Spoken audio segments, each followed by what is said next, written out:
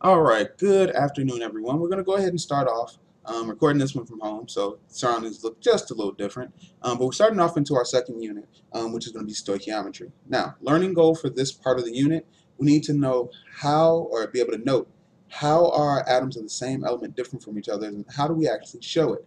Now, I do realize now that's supposed to be a, a question mark, but please forgive me. I'll just go ahead and write it in right there. All right, now let's go ahead and get started.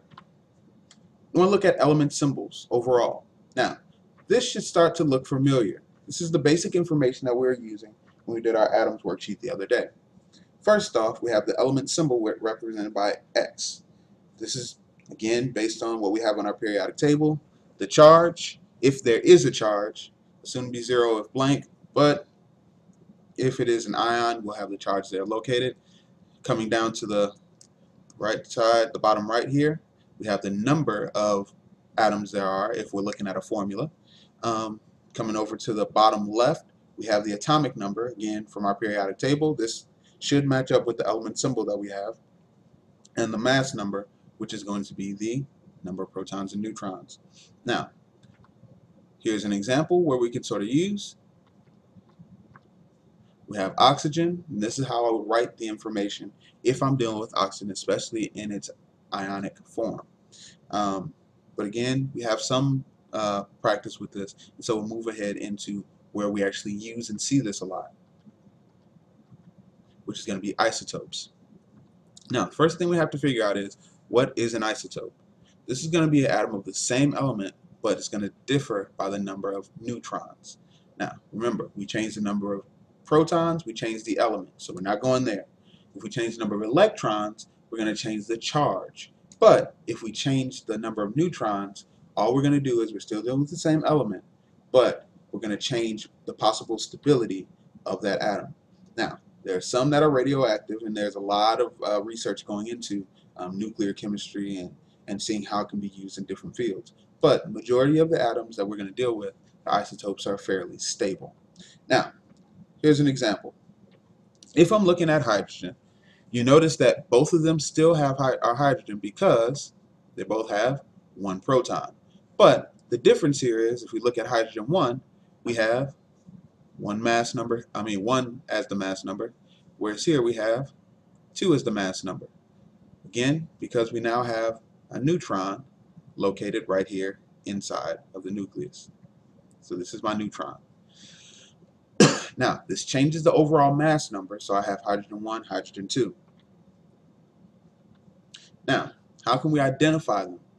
The way that we can identify them is two main ways. I see that you, you'll see them written. One as a nuclide symbol, the other one as hyphen notation. The nuclide symbol looks just like this. You're given the element symbol, just as we have it here, and it has the mass number written here at the top right. Now, what if we move forward? Sorry. We can also write in hyphen notation by writing the mass number after. So carbon hyphen 12 or carbon hyphen 13. We just say carbon 13 or carbon 12. This, uh, these are the main two ways that we'll use when dealing with naming or identifying isotopes. The key here is we want to make sure it's the same number of protons, same atomic number, and the same symbol. The mass number, if it changes, we can tell which ones are neutron or are isotopes. Now, want to look at the difference between the atomic mass and mass number. And there's a couple of different things that we're going to look at here. One, mass number again, just by what we had on the number of protons and neutrons, whereas the, the average atomic mass, sorry, is the average actual masses, as if we could put them on a balance. Mass number, whole number, whereas average atomic mass, not going to be a whole number.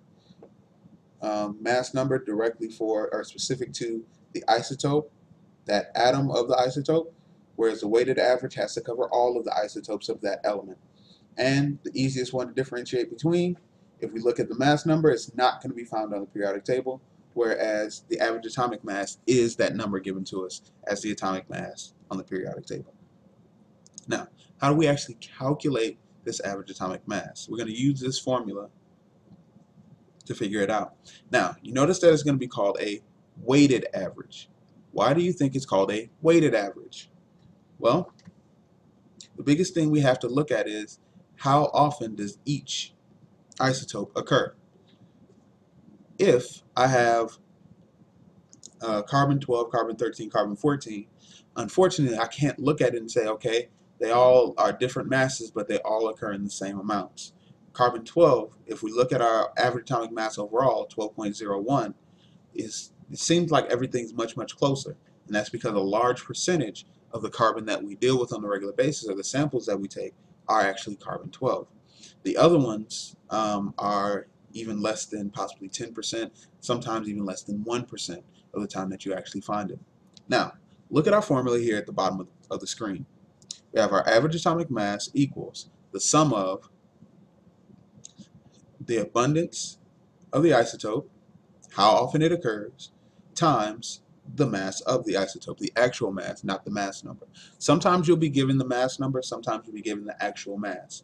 Um, if you're given the mass number, use just the mass number. If you're given the actual mass, then make sure you use the actual mass. Now, let's take a look at one example of how we could actually take this into account. If we were to use this, looking at this example here, this is the information I'm actually pulling from the problem. We have two different isotopes of chlorine, carbon, uh, chlorine 35 and chlorine, chlorine 37.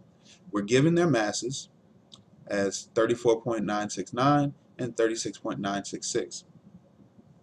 And the percentage is given to us. Now, first, we're only given 24.22%. But since we only have two, that means all we have to do is subtract that from 100 to get our next abundance of 75.78. Now, go back to our formula. How will we set it up? Well, the relative abundance times the mass. So 34.969 times 0.07578 and add that to what you'll get from the product of 36.966 times 0.2422. Once we've taken this and added it up, we're going to get 35.45 AMU. Now, you may be thinking in your head, okay, Mr. Baldwin, we had actual percentages. Why is it now that we're dealing with these decimals? All we did is take the relative abundance out of the percentage form by dividing it by 100 and then use that to multiply. This will give us an actual uh, closer amount and weighted amount um, for what we're dealing with here and allow us to still get an answer that should be right in line with what we have. Now, your key here, you want to make sure your answer should be somewhere between the two or more values that you have. So, looking at this, my answer should have been between 34 and 35 and 36. So, I can actually look at this and say, okay, it matches up, I'm good to go. Everything is fine. Now, what we're going to do in class is we're going to take a little bit more time. We're going to go through this and we have to apply it to the next part, which is dealing with um, mass spectrometry and how we actually read um, a mass spec um, sheet or reading. Take a few moments, look at this, pause, rewind if you need to, and I will see you in class tomorrow. Have a wonderful, wonderful day.